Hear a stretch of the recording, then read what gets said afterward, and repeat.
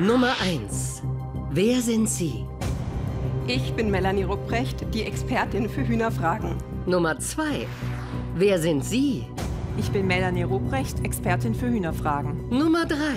Wer sind Sie? Ich bin Melanie Rupprecht, die Expertin für Hühnerfragen. Nur eine von den dreien gibt Tipps rund ums Huhn. Und für sie heißt es jetzt, sagt die Wahrheit.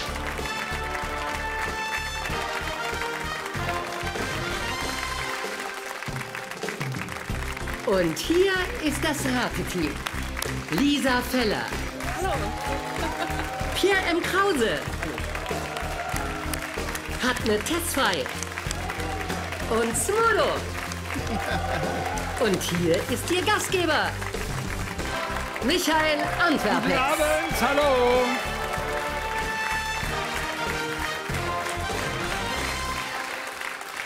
Das ist mal eine wirklich lustige Sache. Herzlich willkommen zu Sagt die Wahrheit in dieser ersten Runde. Eine Hühnerberaterin, die äh, weiß natürlich nicht, wie das Huhn im Ofen besonders knusprig wird, sondern sie kümmert sich um das lebende putzige Federvieh. Denn das wird immer beliebter in Deutschland. Viele Menschen halten sich Hühner. Viele Menschen möchten morgens ihr frisches, biologisches Ei sammeln. Aber dafür braucht es halt auch ein paar Vorkenntnisse. Und die kann sie uns geben. Hühnercoachin. Mein Name ist Melanie Rupprecht und ich bin Hühnercoach. Das heißt, ich berate Menschen, die sich Hühner zulegen. Rund um die Themen Haltung, Fütterung und Pflege von Henne und Hahn stehe ich zur Seite und gebe wertvolle Tipps. Dabei ist es wichtig zu wissen, ob Kinder oder Haustiere im Haushalt leben. Ein Fuchs sollte man nicht haben. Ich sensibilisiere die Halter auch für Krankheitssymptome bei den Tieren und nur wenn die Bedingungen passen, bleiben Hühner gesund. Und ich räume mit dem Mythos auf, dass ein glückliches Huhn jeden Tag ein Ei legt. Das machen nur Hybridhühner, das arme Federvieh, seufzt Melanie Rupprecht. Schön, ne? Dass wir uns auch mal damit befassen. Lisa, du hast hm. keine Hühner zu Hause, oder? Ich habe leider keine Hühner zu Hause. Ja, aber du fragst ganz unbefangen und neugierig. Bitte schön. Absolut. Kandidatin Nummer eins. Äh, was sind Hybridhühner? Hybridhühner sind Kreuzungen, die extra von großen Konzernen so gezüchtet werden aus eigentlich ähm, alten Rassen, dass sie einfach jeden Tag ein Ei äh, legen. Kandidatin Nummer zwei, warum sollten keine Kinder im Haushalt sein? Das kommt auf die Hühnerrasse an. Also es gibt durchaus Hühnerrassen, die auch für Kinder geeignet sind. Aber manche zum Beispiel, das schwedische Perlhuhn, das ist sehr lautstärkeempfindlich. Da sind Kinder zu hektisch. Und Kandidatin Nummer drei, wenn Sie sagen, die Bedingungen müssen passen, damit die Hühner gesund bleiben. Was ist so die wichtigste Bedingung? Also ich würde sagen, weniger als 30 Quadratmeter ist wirklich ein Problem. Ist es nur der Platz? Ja, und auch der richtige Stall dazu, die richtigen Rahmenbedingungen. Danke. 30 Quadratmeter, Mensch, da lebe ich aber ganz kommod auf 30, ne? Und das Huhn aber auch mehr Platz. In München zahlt du da 2000 Euro kalt für. So ist es. So. Ja, und kriegst es auch nicht warm. Oh, so. ja. äh, Nummer eins. Äh, bis wie viel können Hühner zählen? Hühner können, ähm, ich glaube, tatsächlich bis zu fünf zählen. Also es, Hühner sind ja okay, wirklich sehr Vielen Dank Nummer zwei. Äh, es gibt noch eine Besonderheit an Hühnern, was das äh, Soziale angeht. Nennen Sie mal eine davon. Die Hackordnung. Also die haben eine Rangordnung, die sie durch Hacken quasi festlegen. Vielen herzlichen Dank. Ne, Nummer drei. Äh, wenn das Huhn ein eingelegt hat, kann ich es gleich essen? Ein bisschen später. Aber Nummer eins, wie viel später? Am besten ist es, wenn man das Ei mindestens 24 Stunden liegen lässt. Vielen Dank. Nummer zwei. Hühner haben eine besondere Art zu gehen. Beschreiben Sie die bitte mal. Ja, die watscheln so ein bisschen. Nummer drei, wie gehen Hühner? Also, weil es sieht anders aus, als es eigentlich ist. Ja, es ist so, wie sie schon gesagt hat, das Watscheln, aber ein schnelles Watscheln. Also Hühner können sehr schnell laufen. Sag mal, was ist mit dir los? Ich hatte Hühner. Als Nein. Kind. Ja, ich bin mit Hühnern aufgewachsen. Ich wollte gerade sagen, ja, Moment schon. Alles über Hühner. Wie viele Hühner hattest du? Ganz viele tatsächlich. Ich war, konnte auch als Kind schon Hühner fangen, was echt schwer ist. Was ist der Trick zum Hühnerfangen? Ich bin ja gar nicht der Hundexperte, die sitzen da. ja, aber... aber deine Zeit hat nicht läuft ab. Entschuldigung. Jetzt. Okay, Kandidatin äh, Nummer drei. Ähm, haben Sie eine Lieblingshuhnsorte? Ja, das Amhorn und was, das Seidenhuhn. Was macht das Seidenhuhn denn so besonders? Ja, es ist einfach schön. Es hat blaue Ohrläppchen, vorne so ein bisschen eine blaue Schnauze. Danke, Kandidatin Nummer eins. Ähm, Kandidatin drei hat gesagt, man braucht 30 Quadratmeter für ein Huhn. Stimmt das? Nein, man braucht 10 Quadratmeter für ein Huhn, aber man sollte eben nicht nur ein Huhn halten. Sondern wie viele idealerweise, Kandidatin Nummer zwei? Mindestens drei, damit sich eben auch so eine Rangordnung bilden kann oder wenn ein Hund stirbt, das andere dann nicht direkt alleine ist. Okay. Ja, das, das macht natürlich Sinn. Ja, Smudo. Experte für Hühnerfahren dachte ich so, wenn zwei Hühner sich treffen, hast du, was machst du gegen deinen geschwollenen Kamm und so. ähm, ähm, Nummer drei. Äh, warum sollte man sich denn ein Huhn halten wollen? Das sind verschiedene Gründe und Motivationen, die Ich dahinter höre, stecken. fangen wir doch mal mit einem an. Einfach, wenn man frische Eier hat, das ist immer ganz toll. Nehmen wir Nummer zwei denn eigentlich, wenn ein Ei zwei Eidotter drin hat? Das ist ein Doppelei, das kommt aber sehr selten vor. Sehr selten. Ja. Wie selten denn? Vielleicht einmal bei 100 Eiern. Wow, Nummer eins. Stimmt das oder denken Sie, es kommt ein bisschen öfters vor? Es kommt auf die Henne einfach drauf an. Manche Hennen haben einfach da so eine Disposition dafür, dass sie im Doppelei Dotter legen. Und Nummer eins, was macht nicht. man denn, äh, wenn die Hühner, die, wenn die wegfliegen wollen? Manche Hühner fliegen gut, manche Hühner fliegen weniger gut. Und wenn man gut fliegende Hühner hat, aber wenig Platz, sollte man sich überlegen, eine andere Rasse anzuschaffen. Ja. Okay, okay. Jawohl. Ich habe auch ein bisschen Hühnererfahrung. Meine Großeltern hatten welche gehabt. Die Ach, haben, schau an. und da gab es öfters als einmal ein hunderten Doppelei. Ja, da wollen wir mal später die echte Kandidatin fragen, aber die müssen wir zunächst noch identifizieren. Vielleicht ist ja Nummer eins. Sie sagt, Hybrid-Hühner sind Kreuzungen, nicht auf der Straße, sondern von Konzernen. Die Hühner beherrschen einfache Mathematik bis zum Doppelei. Oder Nummer zwei, kindergeeignete Huhnrassen, ist zum Beispiel das schwedische Perlhuhn. Und sie sagt, die Hackordnung ist wichtig. Und Nummer drei, nicht weniger als 30 Quadratmeter empfiehlt sie für das schnelle Watscheln, das sie vor allem beim Seidenhuhn mit den blauen Ohrläppchen liebt. Gibt es ein Seidenhuhn? Gibt es blaue Ohrläppchen bei Hühnern? Keine Ahnung. Aber das ist eure Aufgabe, Lisa. Unfassbar schwer. Also bei Kandidatin 3 habe ich das Gefühl, boah, richtig gut vorbereitet. Ähm, auch so, so Hühner beschreiben, wie die aussehen. Aber das Bauchgefühl bei mir tendiert eher zu 1 oder 2. Das war sehr detailliert, so hier mit der Quadratmeterzahl und verschiedene Rassen. Hier kam sehr schnell die Hackordnung.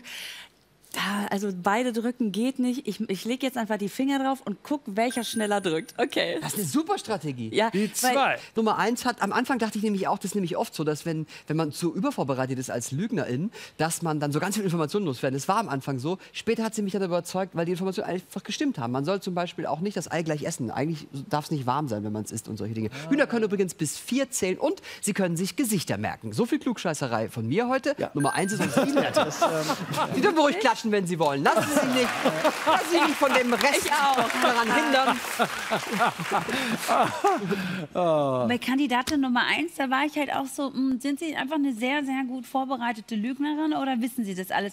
Und das, wenn das unsere KandidatInnen machen, nämlich dieses, "Hm, das weiß ich nicht oder "Hm, super, dann bin ich sofort irritiert. Also ich bleibe jetzt entgegen aller Sachen und Aller so, so, aller Mindtricks, die Sie jetzt mit mir spielen, bleibe ich jetzt mal bei Ihnen. Ich Okay, auch weiß- die Eins. Smudo? Ich fand auch, dass, dass ähm, äh, ähm, dieses, dieses schon fast, also immer, sie hatten so viel Informationen Nummer eins und sie haben wirklich zu allem was zu sagen gehabt Ja. und nichts davon war irgendwie Geschwafel. Sie müssen das einfach sein. Oh, wir haben eine klare Favoritin.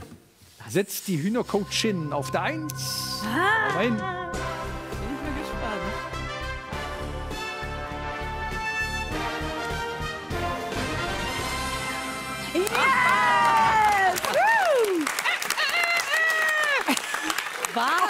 Oh mein Gott! Ich weiß selber nicht, wo das herkam. Da gibt's was, was du nicht kannst, Pierre. Das ist ja unglaublich. Nee, gibt's nicht. Ja, Lisa, äh, du weißt, erfahrene Ratefüchse wissen, wie es im Hühnerstall aussieht. Deshalb ne, haben dir ein paar Jahre Die haben voraus. immer noch drauf, Herr Antwerpen. Wahnsinn. Also, Kandidatin 1 ist die echte Melanie Rupprecht. Nummer 2, wer sind Sie? Ich bin Lisa. Wir halten scheinbar zusammen. Und ja, ich habe es eher nicht so mit Hühnern, eher mit Hunden. Und als Veganerin kann ich mit Eiern auch nicht so viel anfangen. Ah, okay, ja. Und Kandidatin Nummer 3. Ja, mein Name ist Anita, ich komme aus Stuttgart. Von Beruf bin ich eigentlich Bankkauffrau und Finanzbuchhalterin. Habe also eigentlich nichts mit Hühnern am Hut, aber ich liebe Tiere. Ganz besonders den Fuchs, der eigentlich ja der Feind von den Hühnern Aber ist ist. Absolut. So, Melanie Rupprecht, was ist so der wichtigste Tipp, den Sie den Menschen geben, wenn sie zu Ihnen kommen und fragen, ich möchte Hühner, was muss ich beachten? Also grundsätzlich, auch wenn die Menschen nicht zu mir kommen, möchte ich sagen, bereitet euch bitte auf die Hühner vor. Also Hühner sind jetzt, die kann man sich nicht einfach mal so anschaffen und dann halten. Und die haben natürlich auch ganz eigene Ansprüche, damit sie einfach ein gesundes, langes Leben leben können. Welche Bedürfnisse haben denn Hühner zum Beispiel, wenn es um das Futter geht? Ähm, also Sie sollten, also wenn man Hennen hält, sollten Sie auf jeden Fall Legefutter bekommen, weil da einfach alle Nährstoffe richtig Legefutter? Legefutter nennt sich das, genau. Das ist einfach hingestreut. Nein, nein, das ist einfach eine bestimmte Art Futter, die eben alle Nährstoffe so enthalten haben, wie die ähm, Henne das einfach braucht, um die Eier zu produzieren. Ah, ja. Also es gibt auch ganz viele verschiedene Im Gegensatz Futterarten. zum Stellfutter. Ja, genau. Achso, weil man das hinlegt. Ja, sehr gut. Werffutter und Stellfutter. Werferstellfutter. Ist es auch wichtig, damit, man, damit die Hühner auch diesen Kalk bei den Eierschalen produzieren können, dass sie da so eine ausgewogene Nahrung haben? Ne? Ja, genau, wobei ähm, der, der Kalk allein in einem Legefutter nicht ausreicht. Also da empfehle ich auch immer noch zusätzlich Kalk anzubieten. Und, glaube ich, das haben Sie immer gesagt, man soll nicht irgendein Huhn kaufen, sondern eher Rassehühner. Warum? Ja, genau. Die ähm, sogenannten Hybriden, die werden auch landläufig als Legehennen bezeichnet. Das ist die, was halt in den großen Massentierhaltungen gehalten werden. Die gibt es aber auch für Hobbyhalter. Und das Problem bei denen ist, dass die wirklich so gezüchtet sind, dass die jeden Tag ein Ei legen. Und das ist für die Hennen wahnsinnig anstrengend einfach und geht denen auch auf den Legedarm, sodass die Hennen einfach dann eine sehr kurze ähm, Lebenserwartung haben. Und halt richtige alte Landrassen, ähm, die legen nicht jeden Tag ein Ei, aber dafür kann man die halt einfach ja, länger behalten. Und da, natürlich baut man als Mensch eine Beziehung zu seinen Tieren auf. Sie haben erzählt, dass Sie auch den Namen geben, aber baut auch die Henne eine Beziehung zum Menschen auf, wie Pierre behauptet. Ja, die sind empathisch. Ja, auf jeden Fall. Also es gibt natürlich, Hühner sind Individuen. Es gibt natürlich Hühner, die wollen weniger mit den Menschen zu tun haben. Aber es gibt auch Hühner, die sind da total dann anhänglich und wollen dann tatsächlich hochgenommen und gekuschelt werden. Ach was. Und also es gibt richtige Kuschelhühner auch. Geil, ne? wir zwei. Tolle Anregungen und tolle Tipps vor allen Dingen von Melanie Rupprecht, unser Hühnercoach.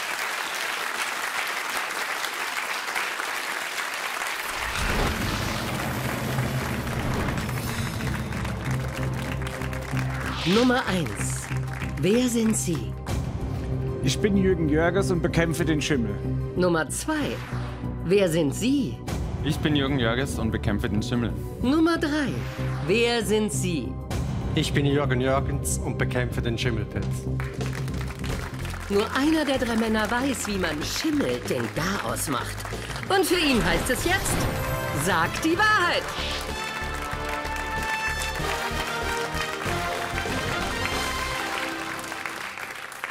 Vom Huhn kommen wir zum Schimmel, aber leider nicht zum weißen Pferd, sondern zu jenem, den viele von uns nicht so gern in der Wohnung haben und der im schlimmsten Falle natürlich auch gesundheitsgefährdend sein kann. Aber Rettung naht in Form dieser drei wunderbar engagierten und fachkundigen Herren. Sie machen jeder Spore den Gar aus und haben viele wertvolle Tipps. Ich heiße Jürgen Jörges und weiß alles über Schimmel. Es gibt so gut wie keine Wohnung ohne ihn. Denn die Sporen dieser Pilze fliegen überall in der Luft herum und wenn sie sich wohlfühlen, setzen sie sich fest. Dann entdecken sie zum Beispiel in der Dusche diese schwarzen Pünktchen und die werden irgendwann größer. Und da komme ich ins Spiel und weiß, was zu tun ist. Es kommt aber auch vor, dass man den Schimmel erstmal gar nicht sieht, sondern nur einen modrigen Geruch wahrnimmt. Dann spüre ich den Übeltäter auf und da ist teilweise detektivische Arbeit nötig. Ganz wichtig, mit Schimmel ist nicht zu spaßen. Also warten Sie nicht zu lange. Rät uns Jürgen Jörges, der Schimmelexperte. Und das hat auch gar nichts mit Hygiene oder Sauberkeit zu tun, sondern ist einfach auch die Feuchtigkeit, die natürlicherweise in Bad, in Bädern und so halt vorkommt. Aber ich will nicht zu viel vorwegnehmen. Smudo. Faszinierend. Nummer drei, die detektivische Arbeit, die interessiert mich, wenn der Schimmel nicht zu sehen ist, aber vielleicht zu riechen. Wie spüren Sie den auf? Ja, das ist ganz einfach. Ich habe eine spezielle Vorrichtung, also meine Brille, die forensische Technik, wo ich einsetze. Das heißt ein spezielles Licht, wo ich die Wand beleuchte und nachher sehe ich genau die Spuren vom Pilz. Äh, Nummer er zwei, eine andere rechts- Nummer zwei. Es gibt so ein Gerät, das sieht aus, als eine silberne Kugel und die hält man so an die Wand. Was ist denn das? Das ist der Feuchtigkeitsmesser, mit dem man natürlich die Feuchtigkeit in der Wand ähm, ermessen kann. Nummer eins, ich bin mir ziemlich sicher, dass sie von Häuslebauern, die Häuser verkaufen, gehasst werden, weil sie diejenigen sind, die dann am Ende noch mal mit Regress kommen kann, weil er Schimmel gefunden hat. Manchmal ja. Nummer eins, ähm, ein schwarzer Punkt. Ist das schon schlimm oder ist das wirklich nur ein Vorbote? Naja, wenn der schwarze Punkt sichtbar ist, dann sind es schon mehrere Vorboten, denn ein Schimmel ist ja ein mikrobiologischer Befall, den ich erstmal nicht sehe. Ah, also der schwarze Punkt ist eigentlich schon ein Schritt zu weit und da muss man handeln. Handet. Aber Kandidat Nummer eins, wenn dieser Schritt zu weit ist, dann hat man doch ehrlich gesagt gar keine Chance, dem Ganzen irgendwie äh, Herr zu werden, weil man den ja erst wahrnimmt, wenn er da ist. Das ist richtig, das ist beim Schimmel so. Wenn er da ist, ist es eigentlich schon zu spät. Ja, super. ja, dann können wir gleich aufhören. Alles. Kandidat Nummer äh, zwei. Was sind Sie denn von Beruf? Ursprünglich habe ich äh, Maler und Lackierer gelernt und mich da dann auf Latexfarben äh, und Lacke spezialisiert, besonders im Kindergartenbereich und wo dann auch einfach ähm, viel damit gearbeitet Und, danke. und Sie, Kandidat Nummer drei, sind Sie auch Maler, Lackierer? Ja, ich habe nachher noch eine Weiterbildung gemacht Mhm. als Tischler, Mhm. weil im Tischlerbereich ist der Schimmel auch anzutreffen und habe mich dann so spezialisiert. Wo ist da der Schimmel anzutreffen? Also, ich es will gibt ja doch so Holz, Holzschimmel, gibt's auch. Ja, Fair ja. bitte. äh, Nummer drei, gibt es eigentlich auch guten Schimmel? Ja, sicher. Und zwar in der Lebensmittelbranche. Also das heißt auf dem Käse, den Vielen Dank. Ist es eigentlich der, ist es der gleiche, der auch bei mir in der Dusche ist? Nummer zwei? Ähm, äh, das ist nicht der gleiche, der in der Dusche ist, nein. Okay, Nummer eins. Welcher Schimmel ist denn harmlos? Ja, der in den Lebensmitteln. Äh, Den ich jetzt zum Beispiel in der Wohnung habe. Ist jeder Schimmel gleich schlimm? Nein, äh, jeder Mensch reagiert auch anders auf Schimmelpilze, von dem her gibt es Vielen Dank. Aber wo muss ich wirklich Nummer zwei die Warnleuchten anmachen? Welcher ist richtig, also wo ich sofort handeln muss? Naja, bei jedem Schimmel. Also ein Schimmel gehört nicht in einen Wohnraum rein, deswegen sobald... Okay, vielen Dank. Nummer drei. Äh, Schimmel auf den Kacheln. Ist das auch schon, wie Nummer eins sagt, ein Anzeichen, dass es zu spät ist? Nee, das ist ein Vorboten, aber das mein Ziel ist schon rein in die Kachel, weil die Kachel auch leicht porös ist. Nummer eins, Prävention. Was? Also wenn du Schimmel schon mitgezählt, auf der, auf der Kachel hast, würde ich ausziehen, würde ich die Wohnung wechseln. Lisa, Ja, Kandidat Nummer eins. Wenn ich diesen Schimmel auf den Fugen habe im Badezimmer, muss ich die ganzen Fugen wegmachen oder kann ich das aus den Fugen rausbröseln? Ja, man müsste die Fugen auskratzen und dann noch mal ein bisschen neu verfugen. Ja, Kandidat Nummer zwei. Sie sagen, in jeder Wohnung ist Schimmel. Aber wenn ich immer gut lüfte und es vielleicht nicht so gut isoliert ist, dann sehe ich den ja nie. Ist der trotzdem gefährlich? Ja, jeder ist dann natürlich gefährlich, weil er dort nicht hingehört. Ich habe aber nicht gesagt, dass überall Schimmel wäre, sondern dass er dort nicht hingehört. Was hilft denn gegen Schimmel, wenn ich jetzt sage, ich freue mich, wenn Sie kommen, aber ich wäre vorher gern tätig? äh, ist es nur Lüften oder was hilft noch? Natürlich ist es Lüften oder gerade auch im Bad, das, äh, die äh, ganze Luft zu entfeuchten im Bad. Wir haben Handtücher, es ist immer Feuchtigkeit mit dabei, sprich auch dafür zu sorgen, dass die Feuchtigkeit nicht so stark in den Räumen ist. ich glaube, man kann zusammenfassen, die Herren haben uns nicht beruhigt. Im Gegenteil. Nee, gar nicht. Im Gegenteil. Wir Wir haben uns äh, vielleicht auch aufgeweckt, um äh, mal genauer hinzuschauen in Zukunft und äh, Maßnahmen zu ergreifen. Unsere drei Schimmelexperten, Kandidat Nummer eins, der Regressfachmann mit dem schwarzen Punkt, der sagt, jeder Mensch reagiert anders auf Schimmel. Hat er damit recht? Oder stimmt die Aussage von Nummer zwei, dem gelernten Maler und Lackierer, der eine Schimmelfortbildung durchlaufen hat und weiß, dass auch der Unsichtbare nicht in die Wohnung gehört? Oder Nummer drei, der mit der forensischen Lichttechnik aus der Schweiz angerückt ist. Er liebt den edlen Schimmel auf dem Käse. Den anderen bekämpft er natürlich. Und ihr bekämpft jetzt die Schwindler und sucht den echten Smudo. Ja, ich sehe in allen von Ihnen, kann ich einen Schimmelexperten sehen. Nummer eins sieht mir aber aus wie ein Ungeziefer-Experte. So, aber nein, ach, ich rede mich im Kopf und Kragen. Nummer drei ist eine einzige, der irgendwann mal Mühe Ziel gesagt hat oder so. Diesen komischen diesen Fachbegriff für die. Ich nehme Sie deshalb. Die Nummer drei beim Smudo. Hat nicht? Kandidat 1, Sie hätte ich gern als Nachbarn. Dann würde man so klingeln und sagen, hallo Jürgen. Und dann würde man so eine lange Geschichte erzählen und Sie hätten auf jeden Fall am Ende dieser langen Geschichte das richtige Werkzeug. So, Kandidat Nummer 3. Äh, aber Sie sind der Schimmelexperte, weil Sie sitzen hier so kühl und äh, auch So kühl und feucht. Und leicht pelzig. Und leicht pelzig. Das haben Sie gesagt. Ich finde, Sie sitzen hier sehr cool. So.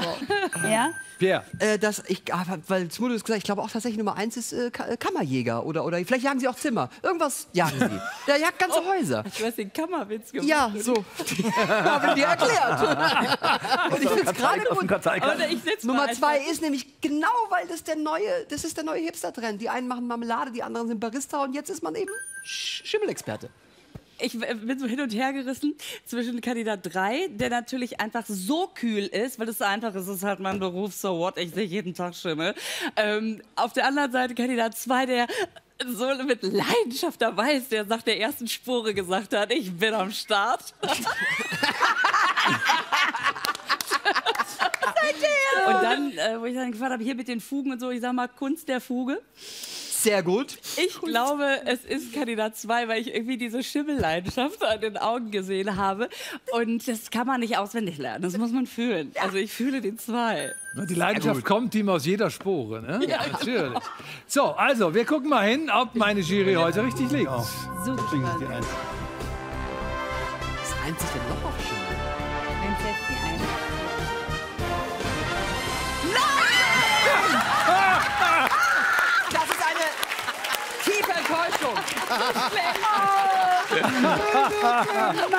Enttäuschung. Ja. Ah, scheißegal. Sag, die Wahrheit ist nur einmal im Jahr. Ole, ich ole. hab ihn Wunderbar. Mega. Nummer zwei. Wer sind Sie bitte? Ich bin der Matthias und meine Verbindung zum Schimmel ist, ich liebe den Schimmel auf dem Käse, gerade von Ziegenkäse. Sehr schön. Ich auch. Zu Recht. Lecker. Und die Nummer drei bitte? Ich bin der Rolf und meine Verbindung zum Schimmel ist, ich liebe ihn auf der Salami. Ah, ja, da gibt es auch.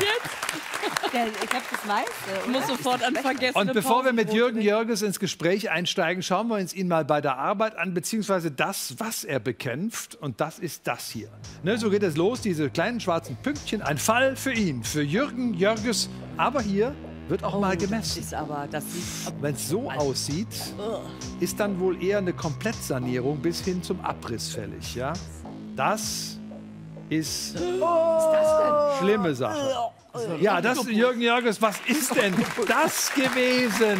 Das letzte war tatsächlich ein holzzerstörender Pilz, der aus einem Kunststofffenster rausgewachsen ist. Was ist denn das Grundproblem, ganz allgemein heute in unseren Wohnungen? Also beim Schimmel muss man sowieso mal unterscheiden. Entweder es ist irgendwas kaputt gegangen, es hat einen Schaden gegeben, Rohrleitungsschaden oder irgendwas ist am Haus einfach kaputt gegangen und Feuchtigkeit dringt ein, dann können wir den Schimmel nicht vermeiden. Dann müssen wir halt wieder etwas reparieren und dann ist es auch wieder in Ordnung. Das andere Problem ist, dass wir so ein bisschen verlernt haben, wie richtiges Wohnen funktioniert. Ja? Also wir haben heute eine viel höhere feuchte Last in unseren Wohnungen wie noch vor ein paar Jahren. Und Ja, woher kommt die hohe Feuchtigkeit? ja, das hat ein bisschen was mit Lebensumstellung zu tun. Ich sage auch immer, ich bin zu einer Zeit groß geworden, ich wurde einmal die Woche durch die Badewanne gezogen. Das heißt, mein Handtuch hing sechs Tage lang trocken im Bad. Und heute haben wir jeden Tag ein nasses Handtuch im Bad hängen. Und das muss ja auch wieder trocknen. Und es trocknet in die Raumluft. Und wenn dann das Lüftungsverhalten nicht stimmt, haben wir eine ständig ansteigende feuchte Last in der Wohnung. Ja. Und der Rest ist dann Physik. Ja, es ist doch aber auch die gute Isolation der neuen Wohnungen, dass sie eben nicht so gut durchlüften sozusagen. Deshalb bleibt mehr Feuchtigkeit in den Räumen. Das ist tatsächlich ein Problem. Ja, das ist auch richtig, aber die gute Isolation führt ja erstmal dazu, dass wir warme Wände haben. Und diese Physik ist ja gerade, wenn warme mit Feuchtigkeit angereicherte Luft an eine kalte Bauteiloberfläche kommt, dann entsteht Kondensat. Aber wenn die Wand warm ist, kann es nicht kondensieren. Dann habe ich nur eine hohe Luftfeuchtigkeit und noch keinen Schimmel. Also es ist tatsächlich die Kombi alte Häuser, kalte Wände mit zu hoher Feuchtelast führt dann in den meisten Fällen zu Schimmel. Was hilft bei Befall? Also ich meine jetzt Hausmittelchen, nicht, dass Sie kommen müssen, sondern Ich äh, empfehle am liebsten, wenn man so einen kleinen Befall hat, so ein Isopropanol-Alkohol in der Apotheke holen, 70 Prozent und da damit den Schimmel abwaschen. Das funktioniert aber wirklich nur bei kleinen Flächen. Wenn der Schimmelbefall größer ist, sollte man auf jeden Fall einen Experten holen. Ja, Jürgen Jörges, zumindest waren das ein paar wertvolle Tipps, aber Sie haben uns auch ein bisschen Angst gemacht, muss ich ehrlich sagen, vor dem Schimmel. Aber wir kriegen es in den Griff, oder? Machen wir. Danke, Jürgen Jörges.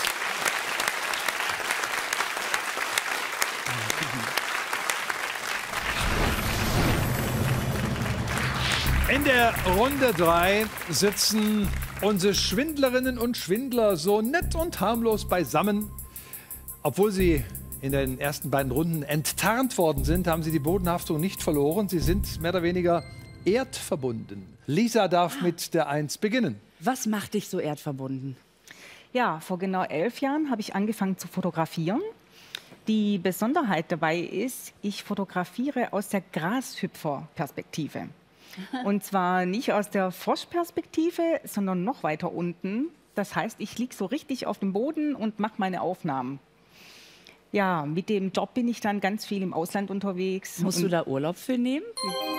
Ah, das war schon. Das sind ja nur 30, Lisa, ne, in der Runde.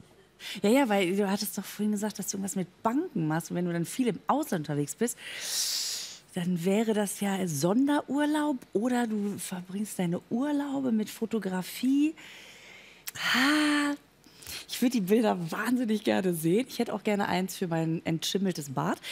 ähm, und dann drücke ich grün. Ich glaube, Sie glaubt die Geschichte. Bitte. Bin mal gespannt, Nummer zwei. Doch, doch, das Könnte es stimmt denn aber. sein? Ich bin erbverbunden. Ich äh, habe seit 15 Jahren ein Restaurant und äh, mein Hauptgericht ist eine Erdsuppe. Das heißt, wir bereiten die einmal in der Woche zu. Und das Spannende ist so das Knirschen von der Erde und dann das, das spezielle Aroma, das ist so richtig das Highlight. Und einmal im Monat haben wir das Eis, das nachher dann so knistert in den Mund. Und das geht so richtig zart runter mit dem Fett und mit dem Butter. Und sind wirklich begeistert. Wir sind bekannt in der Schweiz. Das glaube ich. Das ist eine Frechheit, ist das. Deswegen nennt man euch ja auch die Erdgenossen. ja, so. Ah, sehr gut.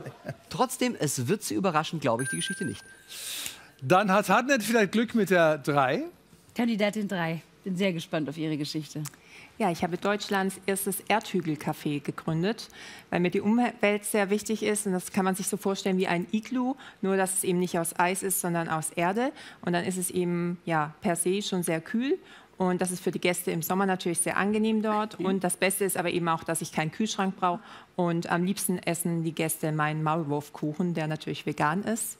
Der ist am beliebtesten. Der ist also kein Der ist aus. Maulwürfen. Lecker. Warum klingt das für mich wie eine coole Geschichte? Also warum? Weil es eine coole, Coole Geschichte, Geschichte. ist. ja. Also das kann ich mir gut vorstellen. Dieses gemütliche, kalte Restaurant. Du musst den Entschluss fassen und Ja, dann dazu genau. Ich, ent, ich, ent, ich fasse den Entschluss, Ihnen zu glauben, Ja, dummer Nummer Entschluss 3. ist. Wow, okay, dann halt nicht. was- wieso denn nicht? Mann, nee, Doch, jetzt warum nein? nicht. Wenn es das jetzt ist, ja. Smudo. Nummer vier, bitteschön. Äh, ich bin erdverbunden. Ich habe vor einiger Zeit eine Juchte in Usbekistan gebaut, aus, aus Erde inklusive auch den Möbeln. Ist dazu gekommen, ich habe eine Reise über die Marco Polo Seidenstraße gemacht und bin tatsächlich in Usbekistan hängen geblieben. Und da gehen Sie jetzt im Sommer immer hin zu Ihrer selbstgebauten Nee, jetzt gehe ich nicht mehr. Villa. Villa. Nee, jetzt gehe ich nicht mehr. Es sind noch ein paar Ziegen da, aber ähm, das, Das glaube ich. Es klingt so ein bisschen harmlos. Das glaube ich aber auch. Aber ich glaube, es ist spektakulär. Ja. Ich muss es glauben. Das muss ich glauben, sagt er. Guck mal, die Lisa hat grün und das Mudo hat bin grün. Wer hat recht? Schön sieht das aus. Schön. Ja. Gut, dass du auf uns gehört hast.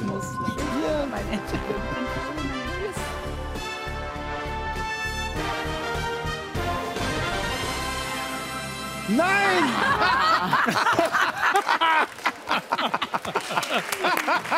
Wollt ihr mich verarschen? Aber habe ich als Einzige richtig gemacht? Rolf Kaviezel hat uns Erdsuppe mitgebracht aus der Schweiz. Das sieht jetzt auch aus wie so ein bisschen Sandkastensand mit Wasser, aber da ist natürlich mehr drin. Was ist da für eine Erde drin? Nee, super. Genau, das ist eine, eine Grängner, also eine Jura-Erde. Die kommt äh, halb aus dem französischen Part, also Französisch Aus der Weltschweiz. Erde aus Frankreich. Und wir haben wirklich äh, zehn Felder in der Schweiz und zehn Felder in Österreich, wo wir aktiv Erde abgebaut haben. Das ist jetzt mehr so im Puderbereich. Also wenn man sie im Mund hat, hat man das leichte Knirschen noch. Was? Nein, das ist wirklich, wirklich lecker. Aber ist das, ist mein das, Glaube. gibt es auch so eine Art Erdsuppen-Fastfood? Ich gehe in den Baumarkt und hole mir eine Packung Erde? Oder? Also das, das muss man. Die Erde hat ein Zertifikat und die ersten Versuche waren auch so Blumenerde essen, Ja. aber die gingen im wahrsten Sinne in die Hose. okay. Also wir haben wirklich kontrollierte Erde.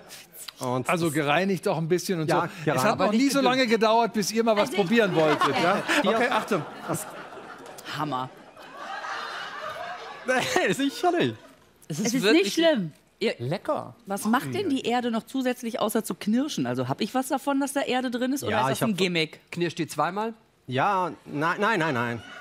Es ist, man hat äh, die gewissen Mineralstoffe hat man natürlich drin, Okay. wo man hat. Und hier hat man eher, wenn man in der Waldregion ist, äh, den pilzigen Flavor. Ich finde den Geschmack gut, das mit dem Knirschen muss man sich dann gewöhnen, aber die Idee kann nur eine Idee bei Sagt die Wahrheit sein. Ja, Und deshalb ist super. er heute ist hier. Rolf Kaviezel, Dankeschön. Und äh, ja, wir essen noch ein bisschen weiter. Bis nächsten Montag, würde mich freuen. Dankeschön.